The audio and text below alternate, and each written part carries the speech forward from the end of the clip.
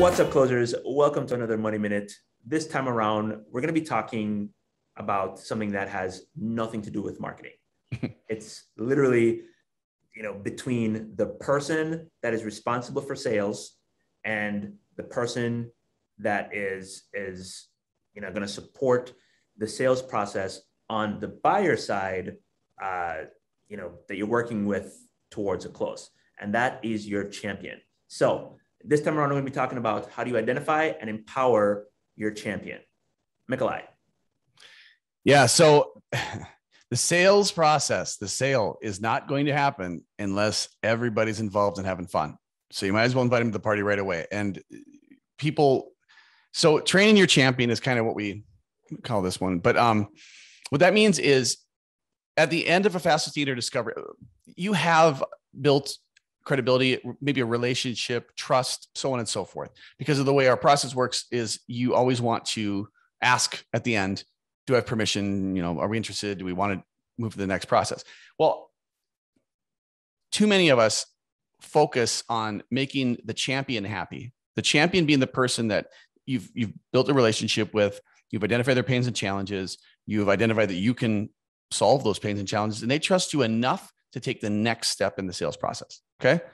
But here's the deal unless they are a, a company of one, um, there are other people that uh, have an opinion. There are other people that have uh, history with maybe another vendor that does what you do, so on and so forth, right? Some people have the purse strings, they have the but access to budget. Maybe your champion doesn't. These are all things that you need to to discover. You need to understand, mm-hmm. um, because otherwise you're just going to spend the next three to six months wasting your time. You know, you want to make sure that who is going to be the person that opposes this move. Why are we doing this? Tell me about the timeline. Okay, I get so that's important to you, and that's a top priority for you. Who else is it a top priority for? You know, questions like that to say, well, then it probably would make sense for them to be on the next call. Yeah. No, no, no, they don't want to, I don't want to bother them. Well, here's the deal though. You know, if we don't have them on board, it's either right, it's either it's, it's either we take the time now their time now or we or we take our time and their time later you know what what's it, what's it going to be? And what, what you want is you want to build the, the, the champion relationship to say hey i'm on your team and you're on mine. And together we're going to make this happen. But i need to know all opposition all roadblocks everything and what's their names. Internal right. selling is almost more important to me than external selling against some competitor. Because at the end of the day, the only reason they're building, people can argue like, oh, they're building a competitor because their pricing was better or blah, blah, blah. Maybe, but usually it's because somebody internally outside of your champion said, hey, I've already worked with them, or hey, I think the pricing is better. Or, I think, I think.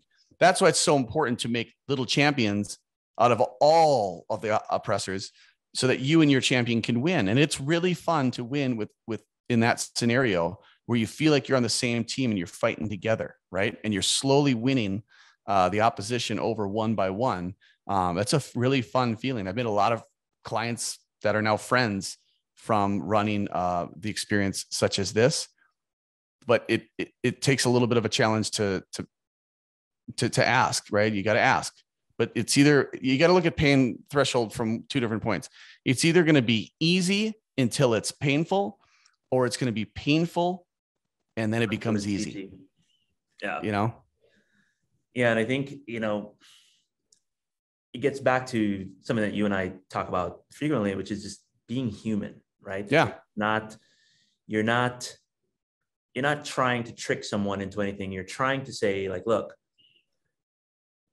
here's my cards on the table. This is, this is, this is what I need out of this. And here's how this is going to help you be better at what you do and they're going to do the same thing say like look this is what i'm up against in the organization help me figure out how to get around it and how to navigate it. And together you're both moving you know moving moving the sales process forward because there is a clear benefit at the end of that tunnel. So right. you know, if you do it together you know once the deal is closed you guys are able to celebrate the wins together. Absolutely. All right. Um, all right, closers, this has been another Money Minute. If you liked what you heard here, be sure to join us for another episode of Coffee and Closers next month. See you then. Money, money, money,